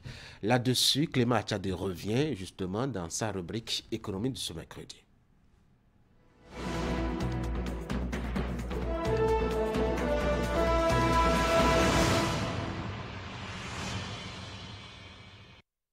Le Bénin s'auto-challenge pour gagner davantage la confiance des partenaires techniques et financiers, mais aussi celle des citoyens, notamment des contribuables. Après la multitude des réformes de dématérialisation des procédures administratives, l'amélioration du climat des affaires et surtout sa crédibilité sur le marché financier, le ministère de l'économie et des finances sort un nouvel outil stratégique pour améliorer la gouvernance et la gestion des finances publiques. Il s'agit du plan global de réforme de gestion du système des finances publiques PGR-GFP couvrant la période 2023-2027. L'objectif stratégique poursuivi par le PGR-GFP 2023-2027 est de hisser le Bénin au rang des meilleurs pays dotés d'un système de gestion des finances publiques performant, innovant, inclusif aligné sur les standards internationaux et servant de socle pour la mise en œuvre des politiques publiques pour un développement durable du pays et pour le bien-être des citoyens. Structuré autour de cinq axes stratégiques, le nouveau plan global se décline en 25 programmes pour un coût estimatif de 182 milliards 244 millions 652 000 francs CFA. Après sa phase expérimentale, ce nouveau document de façon concrète permet au Bénin de bénéficier en 2024 le décaissement budgétaire de l'appui de l'Union européenne. Un nouveau cadre de référence en matière de gestion des finances publiques auquel doivent s'aligner désormais les autres institutions pour plus d'efficacité dans la mise en œuvre de l'action publique. Ceci autour de cinq principaux axes qui produisent déjà des résultats après l'exercice de 2023. Au niveau de l'ACE 1, les réalisations concernent notamment la digitalisation des enquêtes de conjoncture, l'élaboration du document sur l'évaluation des risques budgétaires et autres documents que, autres actions de réforme que la Direction générale de l'économie conduit. Au niveau de l'axe 2, les résultats obtenus sont tirés notamment par les actions relatives à la poursuite des travaux de conception de Custom Web, ce qui a été programmé en 2023 a été réalisé. La surveillance du territoire et la lutte contre la fraude. La mise en œuvre des mesures fiscales en faveur de l'investissement privé, réalisée à 85%. La digitalisation des procédures de délivrance d'actes fonciers. L'institution et l'opérationnalisation du numéro unique parcellaire et la finalisation de la mise en place du cadastre à Cotonou, cet exercice est estimé à 80%.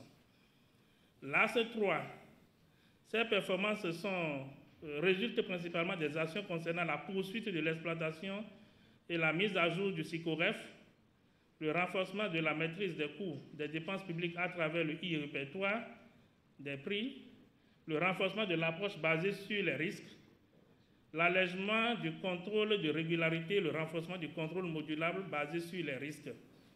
Grâce à ces résultats obtenus, les partenaires techniques et financiers du Bénin se disent satisfaits des efforts de gouvernance faits par l'exécutif. Et sous le thème bilan et perspective de ces plans global prorogés, euh, nous avions suivi avec vous l'exercice d'évaluation du chemin parcouru sur l'axe des finances publiques.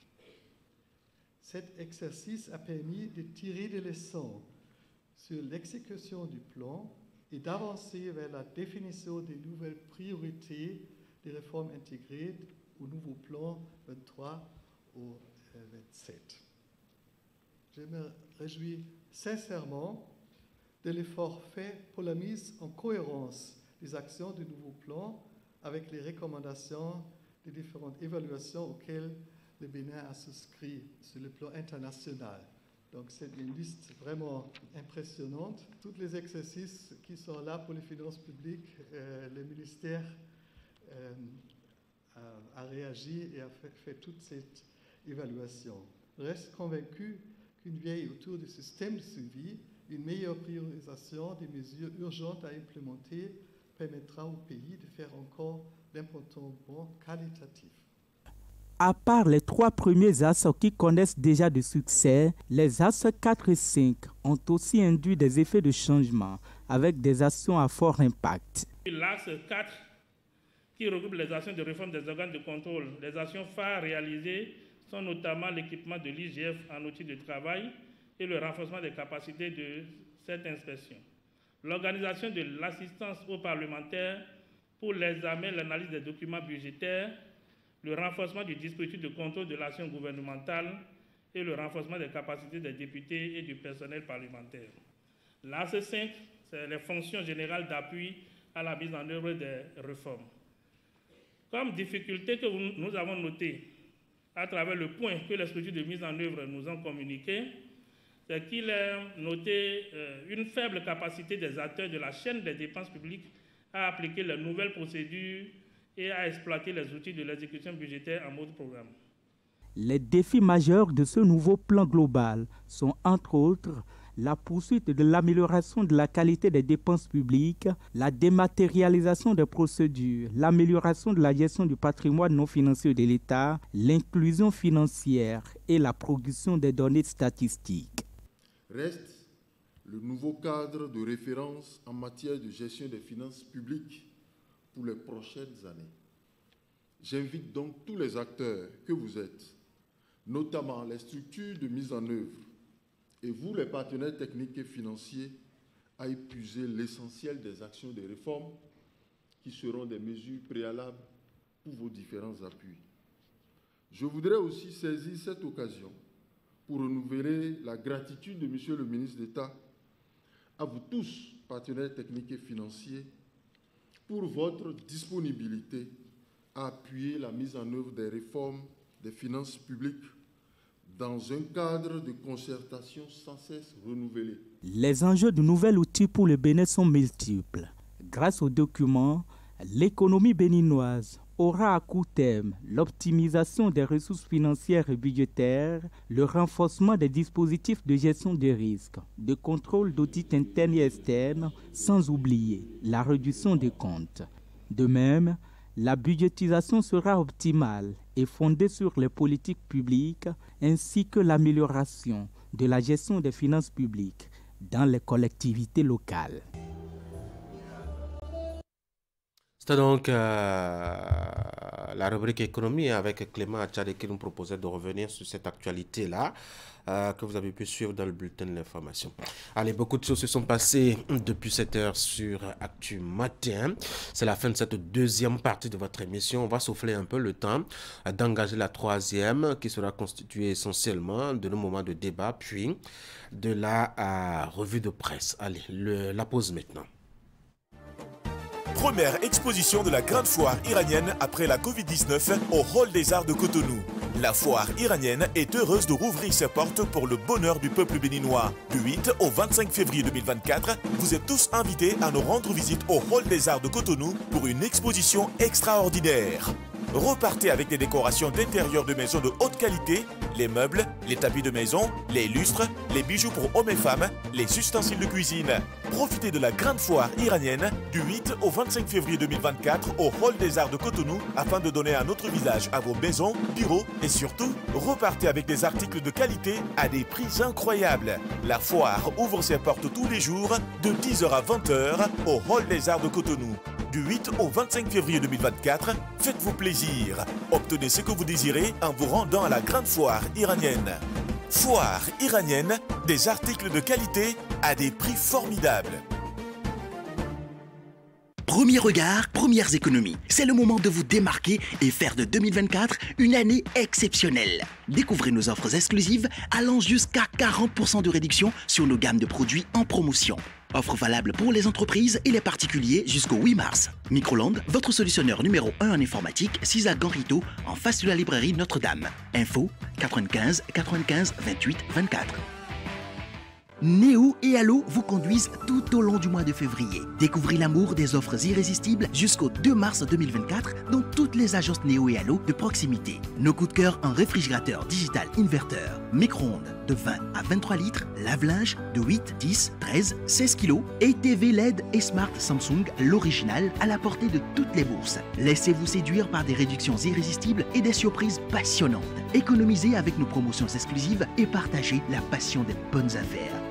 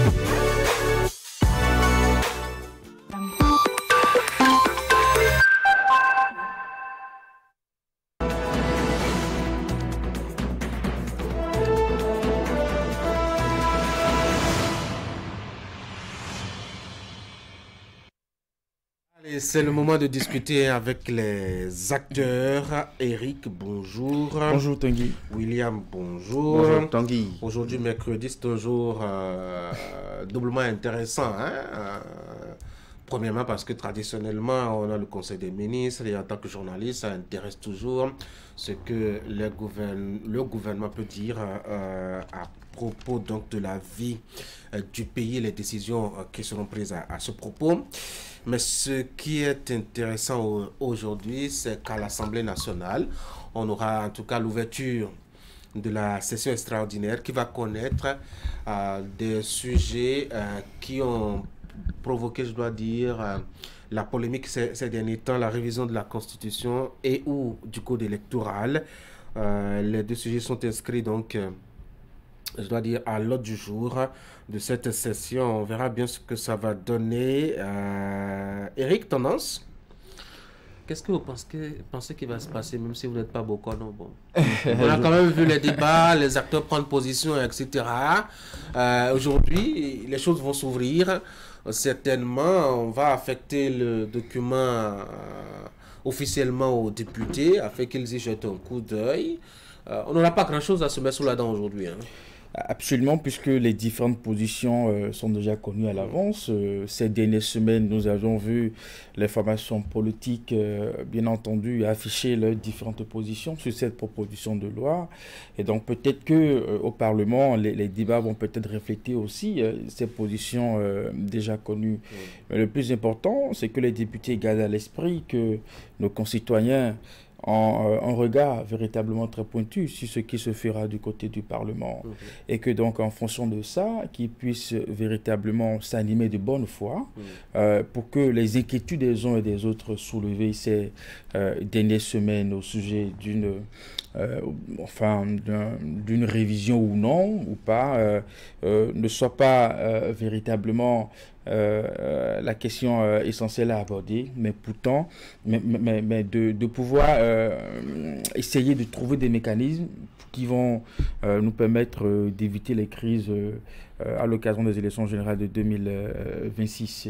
Et je crois savoir que la première tâche pour nous, en fonction de la, décision du 4 janvier de la Cour est donc justement de pouvoir euh, essayer de, rétablir les questions de l'égalité, n'est-ce pas, du pouvoir de parrainage à l'égard de tous les maires. Je pense que c'est la tâche première et que la Cour a, recommandé aux députés.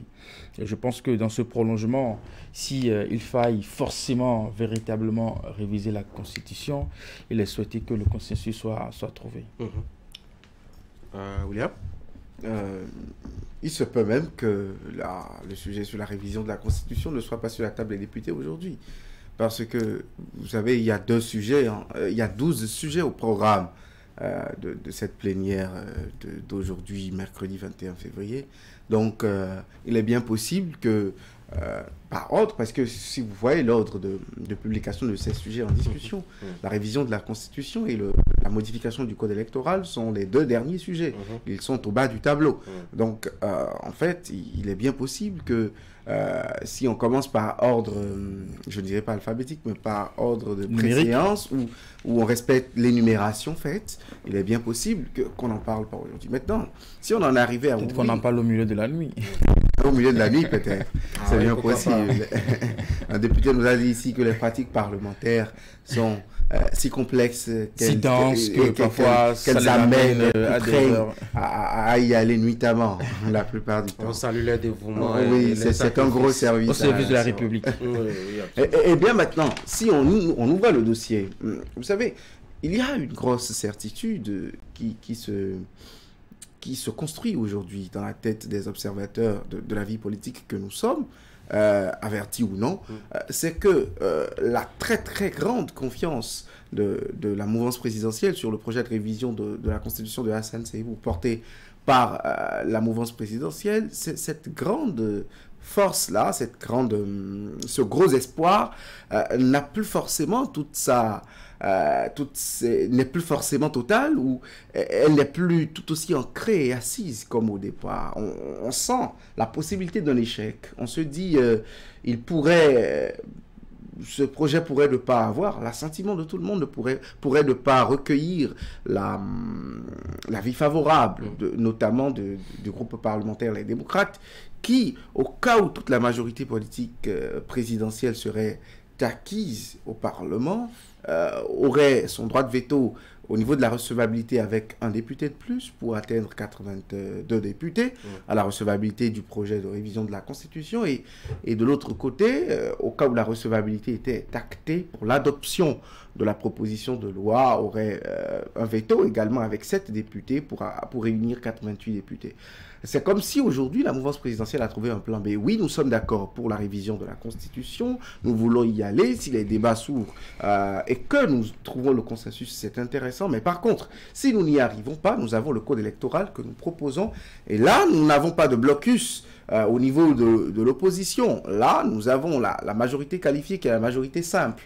elle est la majorité pour adopter une loi ordinaire et le code électoral étant une loi ordinaire au cas où la révision constitutionnelle échouerait euh, au, niveau du code électoral parce qu'ils ont euh, arithmétiquement l'effectif qu'il faut pour, faire adopter une modification du code électoral, ils se rabattraient sur le, le code électoral. Les chances de ce, de ce projet de révision, pour moi, euh, sont tout aussi maigres que... Euh, euh, il y a aussi des chances, hein, il y a aussi des possibilités. Oui, on ne va pas être catégorique. On ne va, pas être catégorique, on ne va pas s'en tenir au discours parce que justement... des démocrates en meeting, en week-end. Non, le Parlement, c'est là où les intrigues se font et se défont, notamment en politique. Moi, je l'appelle comme Joe Biden, la citadelle de la démocratie. C'est là-bas qu'on voit même la démocratie en marche, la machine démocratique en, ébullition. Euh, mais euh, ce serait surprenant qu'en fin de journée, euh, une, cette proposition de loi soit, soit, adoptée ou qu'elle passe même le cap de, la recevabilité. Je pense que les débats nous enverront beaucoup plus sur... sur Mais dans tous les cas, même si la révision de la Constitution ne passait pas, je crois qu'il y a une proposition d'amendement au Code électoral Justement. qui pratiquement exactement ce qu'on veut mettre dans la, dans la Constitution. Donc, réviser la Constitution autrement, Eric.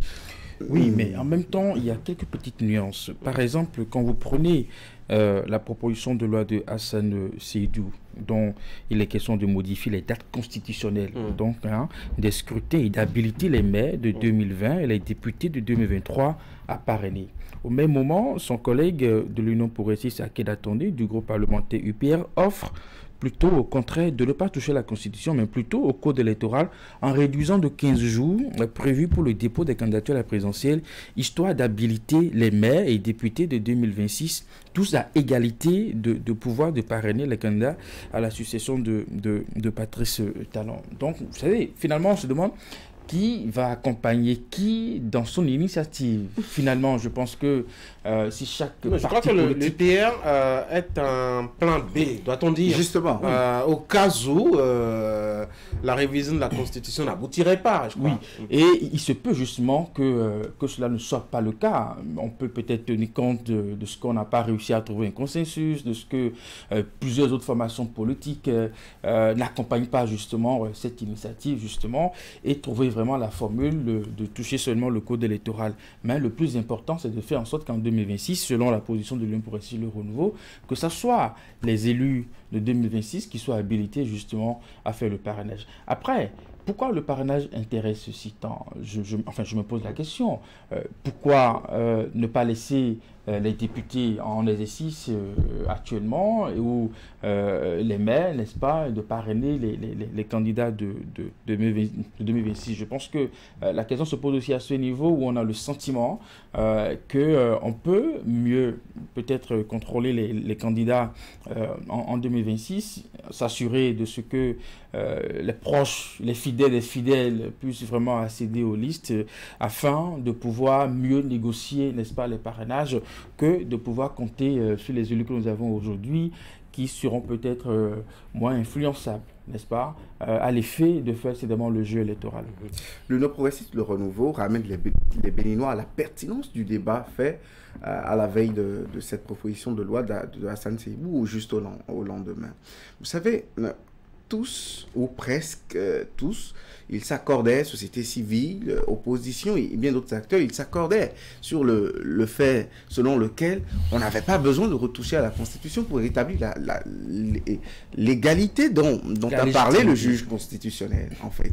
Si euh, il fallait permettre aux élus de 2026 tous de parrainer, c'est-à-dire députés et maires, ou s'il fallait conserver la légitimité aux députés actuels et aux maires en poste actuellement pour parrainer, il fallait juste retoucher au code électoral. Mais Mordicus, ils ont défendu que non, il faut faire une refonte totale, euh, il faut régler le problème à la source.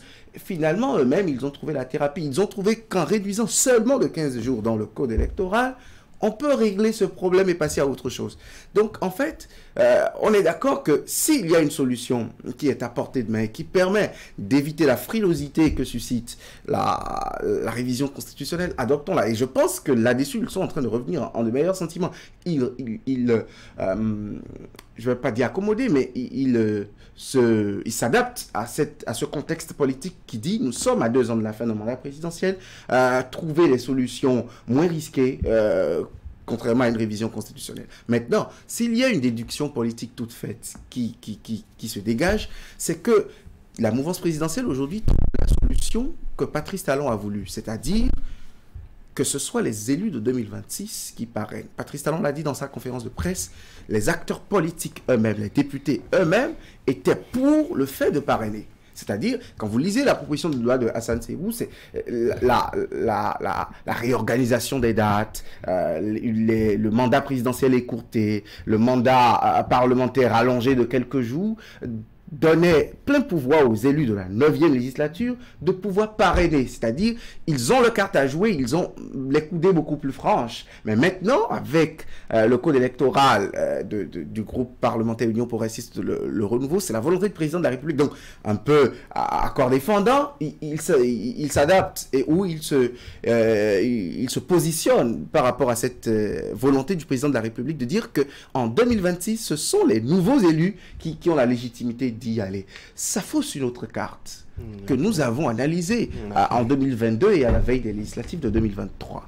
C'est que si les démocrates ne sont pas présents pour la 9e législature, c'est qu'ils ne seront pas candidats à la présidentielle de 2026, un peu comme euh, leur absence aux, législatives de 2019 a, conditionné euh, leur absence à, la présidentielle de, 2021. Donc aujourd'hui, les démocrates ont, peut-être tout fait. C'était le Graal arraché en 2023 pour, pour être présent au Parlement, mais finalement, ça ne servirait pas à grand-chose si euh, le code électoral était revu en l'état et que ce sont les élus de 2026. Ils ont alors un autre chemin de, de croix à faire pour pouvoir se faire élire en, 2026. Ils vous diront qu'ils ne craignent rien, qu'ils ont 28 députés en, poste, que si euh, toute franchise politique est faite et qu'ils retournent à leur base, ils ont l'électorat euh, possible pour pouvoir se faire euh, les députés qu'il faut ou les maires qu'il faut au communal de 2026 pour mm. pouvoir parrainer quand si ce, cette proposition de loi était, était adoptée. Mais attention, 2026 est encore loin. Attention, être présent à l'hémicycle avec 28 députés, ce n'est pas la même chose que, que espérer euh, lever des sièges au Parlement et, dans les communes il pour l'élection future. Ils peuvent avoir plus comme ils peuvent avoir moins. Comme ils peuvent avoir rien du tout. Comme ils peuvent ne rien avoir. Ah, comme en 2019, comme on a sorti Ça, ça pose cette lecture que nous avons tous euh, faite à, la veille de 2023. Donc, ce sont des cas complètement rebattus euh, et attendons de voir. Est-ce que ce n'est pas un de pression que de sortir maintenant la solution à quai euh, pour dire écoutez, euh, si vous ne si vous n'adhérez pas à la révision, puisque vous continuez à résister, eh bien plus facilement, c'est plus facile pour nous de réviser le code électoral puisque nous avons la majorité, la majorité qualifiée pour cela. Et donc, euh, on pourrait vous exclure hein, carrément, je dois dire, des élections de. Ils l'ont dit. Est-ce que cette version, justement, n'est pas une façon, Eric, de mettre davantage la pression sur les démocrates pour qu'ils votent la révision? C'est bien possible, mais en même temps, il y a des arguments, justement, qui, qui peuvent justement les amener à une telle proposition Parce que en l'état actuel des tests, hein, c'est exclusivement les députés élus en 2023 qui délivéreront le parrainage en 2026. Mm. Par contre, certains parmi eux auront néanmoins perdu justement leur poste et donc leur légitimité le 11 janvier 2026 à l'occasion des élections couplées des députés et des maires, mais ils détiendraient toujours leur légalité, leur mandat euh, justement. Et donc, cette problématique. Comment on règle ça? Non, vous savez, la cour même, là-dessus, moi je trouve que c'est un débat qu'on a voulu faire, euh, donc, qu'on a voulu vraiment faire. Oui, donc comment on règle ça? Et donc c'est tellement que dans, dans l'idée de pouvoir mettre tout le monde au même niveau de pouvoir, de légitimité, de légalité devant Dieu et les peuples, devant le roi du parrainage, je pense que l'idée est toute trouvée n'est-ce pas, de, de, faire une proposition, en fait, de, de faire une correction pour euh, mettre tout le monde euh, dans, sa, dans sa case. Et ainsi, bon, le chemin est tout tracé, sauf que euh, les plus pédants, c'est les élus que nous avons aujourd'hui qui sont à la fois maires, mais aussi députés à l'Assemblée nationale. Vous savez, ce, ce, débat, ah, on peut aller un peu plus en front et, trouver des questions de pertinence. Pourquoi Akhenaton dans sa proposition de loi, n'avait pas pensé à un décalage calendaire dans, dans dans le code électoral de sorte à, permettre aux députés en poste euh, et aux maires en poste, c'est-à-dire s'arranger pour que le délai d'installation des maires euh, puisse, euh, puisse ne pas arriver avant le dépôt de candidature, de sorte à ce que et maire en poste et député de la 9e législature puissent parrainer. Ce que la Cour constitutionnelle proposait. D'une manière implicitement, implicitement, parce que tous on ne s'accorde pas sur mhm. l'orientation que donne le juge constitutionnel. Beaucoup pensent que le juge a ouvert une brèche que qu'on peut interpréter de, plusieurs manières. Maintenant, euh, pourquoi on ne le fait pas de la sorte? Moi, je l'ai suivi sur les antennes de euh, de, de l'audiovisuel du Parlement. Il, il dit que euh, c'est pour que le député soit moins corruptible. Ah oui il dit que c'est parce que euh, un député en fin de mandat qui a toujours la légitimité et la légalité de parrainer, mais qui aurait déjà perdu une élection euh, et ne, reviendrait pas, pourrait euh, tout faire, pourrait, pourrait aller dans tous les sens et pourrait être influencé. Il est suffisamment influençable quand il sait qu'il ne revient pas au Parlement, donc il pourrait faire de son parrainage ce qu'il veut, il pourrait en faire une sanction et ainsi de suite. L'autre côté, ou l'inverse de la situation est possible qu'on maîtrise toute la classe politique parce que tant qu'on n'est pas allé aux élections de 2026, on ne sait pas qui parraine pour la présidentielle de... on, ne veut pas en faire un fonds de commerce, le parrainage, mais de l'autre côté de la médaille, en l'état des choses, on peut en faire un sujet de discipline des troupes et, des formations politiques pour, pour la présidentielle de, de, 2026. Et moi, je trouve que c'est l'objectif, en fait. Ce débat, c'est là où ça nous amène. On, veut s'assurer que, attention, parce que Patrice Talon sera en fin de mandat, parce qu'on est resté trop, discipliné dix ans durant, ce sera peut-être le moment que les plus indisciplinés sortent leurs griffes ou, ou que les plus jaloux de leur indépendance euh, l'affirment et, et, puissent se réveiller et réveiller les vieux démons. Bref, à quoi est-ce qu'on doit s'attendre? C'est toute la question. Maintenant, pour le code électoral, ce sera ça va passer comme une lettre à la poste si les démocrates refusaient la révision de la Constitution. Et, et ils le diront. Vous, vous, avez suivi le discours pendant la campagne sur la révision de la Constitution au lendemain de la loi Hassan Seyibou. Là où les députés de l'opposition ont des marges de manœuvre, euh, c'est au niveau de, de, la révision constitutionnelle. Quand ils vont laisser ça, quand cela va leur échapper, la, la révision de la Constitution est le sujet 11 et le code électoral le sujet 12. Donc on, on y va d'abord. Quand ça ne va pas marcher à la révision constitutionnelle, là où ils n'auront pas de marge de manœuvre, c'est le code électoral et là ils subiront euh, quoi qu'on décide. Ils n'auront pas le mot à dire quoi, quoi qu'on ah, mettra. Oui, ce serait trop facile mmh. aussi parce que euh, c'est oublier un peu aussi que l'accord constitutionnel peut se poser comme, euh, comme un dernier rempart aussi. Hein, mm -hmm. Parce que ce n'est pas parce qu'on n'a pas réussi à faire voter la Constitution qu'on peut alors ramener tout ce qu'on veut au niveau du code électoral, quitte à ce que ce soit en porte-à-faux avec la Constitution qui est en place. Si on met beaucoup d'éléments euh, qui, ma foi, vont à l'encontre du test constitutionnel que nous avons, les sages diront certainement, messieurs les députés, vous êtes bien élus du peuple, mais ce que vous aviez fait, est-ce que vous ne voudrez pas bien reprendre tout cela euh, de façon plus calme, de façon plus calme et, et de façon plus douce. On, on l'espère parce que vous savez, le code électoral a une loi ordinaire oui. et avec la révision constitutionnelle de 2019. Euh, le contrôle de constitutionnalité n'est plus systématique pour, pour, toutes les normes, notamment les lois ordinaires par exemple. C'est quand, en exception d'inconstitutionnalité, un citoyen euh, va devant le juge constitutionnel et, et incrimine des dispositions. C'est grave. Et que, que, que, que. Que, que, le juge constitutionnel se prononce, ou quand peut-être quand le président de la République va demander une deuxième relecture ou, ou je ne sais quoi. Mais quand même, euh, ce n'est plus systématique. Ce, la loi serait peut-être bien votée. Peut-être ce serait à la veille d'une application un peu comme euh, pour euh, les dispositions chrysogènes du code électoral actuel, où peut-être l'opposition va tempêter euh, longtemps. Et si le juge constitutionnel ne, ne donnait pas raison à, à, à ces requérants, les questions là aussi se posent. En tout cas, on verra bien ce que les, les parlementaires feront. Ils ont euh, toute la journée. Oui, et, et, toute même, la nuit et même toute la nuit aussi. Ils ont même euh, quelques jours suivants pour continuer. Je crois que la session doit durer une semaine, non? Euh, À peu près. Donc on verra en tout cas, je n'ai pas de ces détails, hein. on verra comment est-ce qu'ils vont se, comporter. Allez, autre actualité, ça chauffe à Abuja, les populations qui s'énervent contre le président. Ce n'est pas la première fois, hein, Eric, qu'on voit depuis l'élection de, de Bola même, je crois, le jour même de sa prestation de serment déjà. Il y avait quelques remous euh, avec cette affaire donc de euh, suppression, je dois dire, des subventions au, au, carburant. Et ça, et ça reprend. Euh, c'est sans repos hein, pour le président en exercice de la CEDEAO. Absolument, ça crée la faim, ça crée la cherté de la vie. Lui qui se retrouve à gérer plusieurs crises à l'intérieur de son pays, mais aussi à l'extérieur, avec tout ce qui se passe au Niger, au Sénégal, étant la tête de la CEDEAO. Bon, je pense que maintenant qu'à l'intérieur, ça crée fort, il devra donc s'occuper plus de ce qui se passe à l'intérieur de son pays que ce qui se passe chez Macky Sall ou bien qu'ailleurs. Alors je pense que euh, que des citoyens du Nigeria se, se, révoltent véritablement, vous savez, à la façon avec beaucoup de violence, ah oui, beaucoup oui, de bruit, euh, ça marche dans les rues, ça crie véritablement, c'est qu'il y a matière à s'inquiéter. Parce que quand ça commence comme ça, euh, nous autres, ça nous touche aussi ici.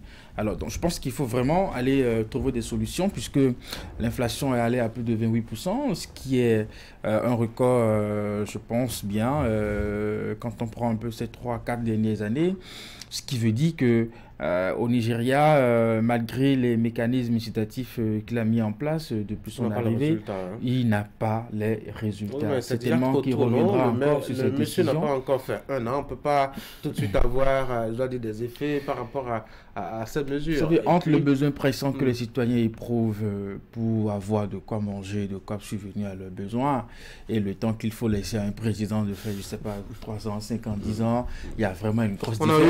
On a eu un, un Mohamed Boari un peu, un peu laissé aller, laissé faire sur, euh, sur les bords vers la fin de son mandat, ce qui a fait, euh, enfin, ce qui a conduit à des situations assez compliquées dont a hérité son, son successeur euh, actuellement, qui nécessite forcément qu'on prenne beaucoup de temps, euh, ma foi, pour, pour y trouver des solutions. Non, mais vous savez, Boari, déjà, aux premières heures de son mandat, a, a connu euh, la très grosse difficulté de la dévaluation du Naira. Mm -hmm. il, a fait, il a fait tout son pouvoir avec un Naira vraiment en crise, en crise épileptique. Euh, et donc, euh, oui, donc cela a été la principale difficulté de, de Mohamedou Bouhari, selon moi. Et aujourd'hui, c'est normal que depuis 2015, euh, le Nigeria n'a pas retrouvé cette santé financière. Mhm. vous voyez, un peu après l'arrivée de Bola Ahmed Tinubu, les crises à la Banque centrale nigériane avec des détournements de, de grands hommes d'affaires cités, des responsables, des cadres de la Banque centrale cités, quand dans un contexte comme ça, il y a une récession économique, il y a des difficultés économiques, et que vous venez au pouvoir, c'est le moment pour vous de, de prendre vos marques, c'est normal que vous ne puissiez pas solutionner les problèmes tout de suite, et que dans la rue, ça crie. Euh, on, a découvert... Hmm, une, euh, dans une enquête de BBC mhm. euh, des Nigérians du Nord. Bon, vous savez, le Nigeria a cette difficulté, comme la plupart des États africains, de, l'absence de l'État dans certaines parties de, du territoire, dans le Nord, notamment à Kano et environ, dans l'État du Kano de Kano et environ, euh, des, populations qui se résument à consommer un riz qui, à la base, n'était pas destiné à la consommation. Ce sont des, des déchets de rizerie à la base, mais que les populations sont obligées de consommer. Et, dans cette enquête de la BBC, vous voyez que le niveau de paupérisation était tellement galopant que euh, à un moment donné, on, ne pouvait se résigner qu'à ça, on ne pouvait se résumer euh, qu'à ça. Quand ça atteint ce, ce, niveau, ce sont des crises qui sont couvées. Et quand on, territorialement, les, les, inégalités sociales se creusent pour un pays qui a cette histoire, qui a l'histoire, qui a dans son passé la guerre du, Biafra, qui a cette division, qui a euh, les, envies de sécession, qui a euh, les, crises sécuritaires au nord, voilà, les euh, crises régionales et les crises tribales dans, dans, son histoire. Pour un État comme ça, ce sont des, des foyers de tension qu'il faut vraiment éviter. Moi, je pense que euh, très actif sur le front et de l'intégration, euh, devrait pour moi euh, essayer de revoir un peu son fusil d'épaule et de se concentrer davantage sur les questions internes. Euh, les structures francophones et françaises qui observent un peu la bonne santé des États économiques et financiers, un des États en Afrique de l'Ouest, positionnent la Côte d'Ivoire comme étant la locomotive de la sous-région. Pourtant, le Nigeria, il est, il est quand même un vaste et important pays en termes d'économie et autres, qui viralise d'ailleurs, je dois dire, en termes d'économie. Non, si vous vous en tenez au magazine euh, Fineco, mais écoutez, c'est un magazine comme tout autre. on leur permet de dire ce, ce, qu'ils ont envie de dire. Euh, où, est-ce qu'ils ont placé le Sénégal quand ils parlaient de ce taux, euh, taux de, de, richesse par habitant au niveau du PIB meilleur au, en Côte d'Ivoire Vous savez, ce sont des chiffres vraiment que moi je prends je avec dis, bon voilà, ils font leur, leur étalage, ils font leur enquête, mais il y a quand même que la réalité est là que le Nigeria occupe quand même assez, une place assez intéressante et importante dans la, sous-région. Et que de voir ce pays en difficulté, notamment avec sa monnaie hein, qui mhm. fluctue tout le temps euh, et qui est en instabilité chronique euh, depuis quelques années maintenant, est-ce que ce n'est pas un danger pour la sous-région? C'est la question que j'allais poser justement. Et bien, en même temps, vous savez, une puissance euh, économique n'est pas synonyme de ce qu'à l'intérieur de ce pays, tout le monde véritablement à sa fin. Mhm. vous avez également des poches de, de, pauvreté, justement, à, certaines zones, mhm. même dans cette puissance. C'est une expression occidentale pour éviter les poches de pauvreté. à cette zone pour se montrer un, peu, pays. après, nous, en fait, nous qui sommes voisins euh, de ce grand pays euh, devons observer, là je parle un peu de l'État, les services certainement de nos, de nos, de nos ministères de l'économie et de l'industrie, du commerce aussi, devraient observer vraiment avec beaucoup de, de rigueur ce qui se passe là-bas et commencer peut-être pas anticiper. Parce qu'on partage tellement de, de, spéculation économique avec, euh, avec ce pays que quand ça crie justement de cette façon, on a des raisons de s'inquiéter sur le marché. Vous savez, les, les, grosses boîtes anglophones dans la, dans la sous-région ont peut-être cette magie de, de faire résister. Même le CIDI n'est pas en santé hein, depuis mhm. des années. Oui, euh, notamment avec Nana Koufoua, oui. on a vu quand même quelques... Oui, donc en fait, euh, ce n'est pas toujours la grosse santé chez, chez, ces, ces, ces, puissances euh, ou ces, mini-puissances, si vous voulez, qu'on ne heurte pas la, sensibilité des, des hyperpuissances occidentales. Si euh, au niveau de, ces pôles, on a autant de difficultés, mais qu'on essaie de résister à un moment donné ou à un autre, ces puissances pourraient craquer.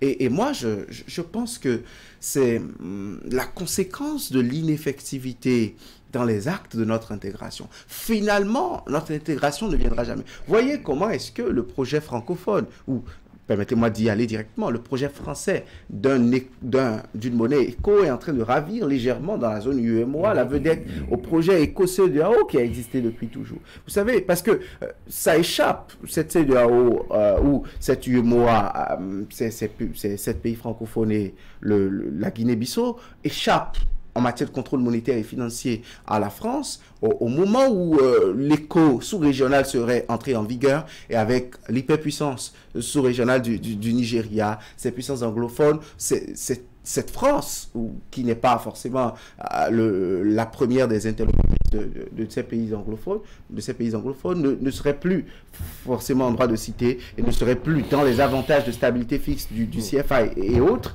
Et donc, on a intérêt à, faire retarder les projets euh, sous-régionaux pour, faire place à, ces émiettements, comme nous, nous, le voyons au niveau de l'UEMOA et des pays francophones. Mais quoi qu'on dise, toutes les fois que nous n'allons pas vraiment faire de ce marché sous-régional un marché solide, les quelques puissances isolées auront des difficultés à asseoir leur, leur puissance, leur hyperpuissance, et les autres pays euh, en difficulté demeureront très instables et, très, On peut pas être très, euh, tranquille euh, dans un vaste désert. Il faut apprendre justement à à ce que, en tout cas, la situation soit relativement, ma foi, à bien partagée. Allez, les gars, merci beaucoup. Mhm.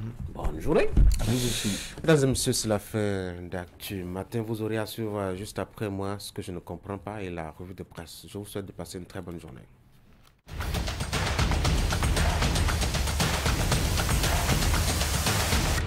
Bon, ce que je ne comprends pas, depuis que le gouvernement a sensibilisé pour euh, le port de casque, et l'essai de vitesse. Je ne sais pas pourquoi certaines personnes abusent et continuent de rouler toujours sans casque et continuent de faire l'essai de vitesse. Or, cela est grave pour leur santé.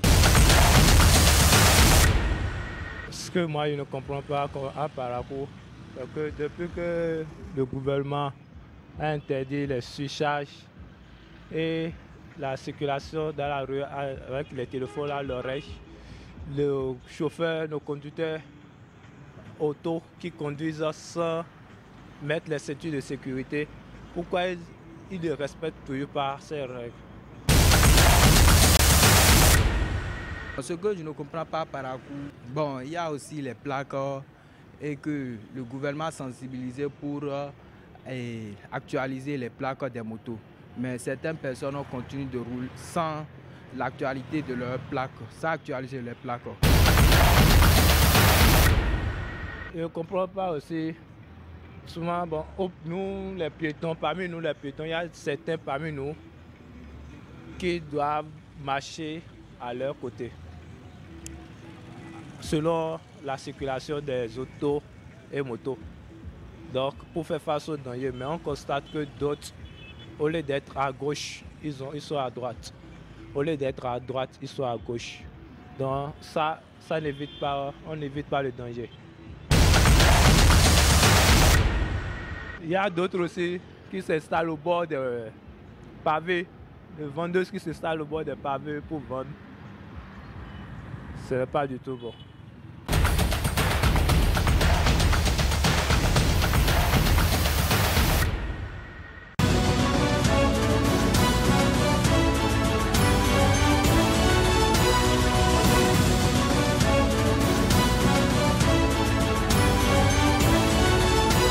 Bonjour à toutes et à tous. Voici la revue de presse de ce jour.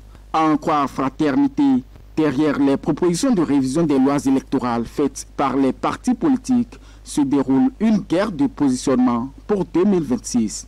Alors que Hassan Seibou propose de modifier les dates constitutionnelles des scrutins et d'habiliter les maires de 2020 et les députés de 2023 à parrainer, son collègue Akenatonde du groupe parlementaire UPR offre au contraire de ne pas toucher à la Constitution, mais plutôt au code électoral en réduisant de 15 jours prévus pour le dépôt des candidatures à la présidentielle, histoire d'habiliter les maires et députés de 2026, tous à égalité de pouvoir, de parrainer les candidats à la succession de Patrice Talon, comme le souhaite ce dernier.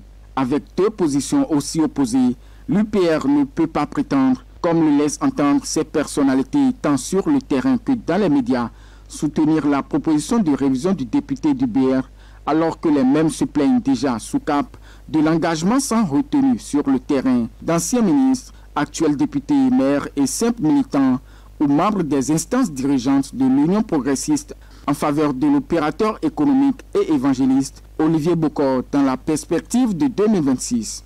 Car au même moment, son président Joseph Djogbenou multiplie sur le terrain ses actions de mobilisation en vue des mêmes élections générales. Du côté des députés LD, il se murmure que l'argument majeur servi pour les motiver à voter pour la révision, c'est que parmi les 28 députés actuels du parti de Bouniaï, beaucoup seraient déjà dans la tendance favorable au même Olivier Bocor et que, à l'instar de la logique UPR, il n'aurait meilleur sort aux élections générales qu'avec des parrains élus en 2026. Malheureusement, ce parti d'opposition revient de très loin et est passé par tous les supplices pour obtenir la minorité de blocage qui fait sa force au sein de la 9e législature. Il rêve désormais d'élargir ses possibilités de parrainage au-delà de son groupe parlementaire pour gagner aussi des maires qui manquent à son escarcelle. Atteindront-ils cet objectif en mettant les députés actuels dans le doute et le regret de ne pas être parmi les faiseurs du roi de 2026 s'interroge le quotidien domestique.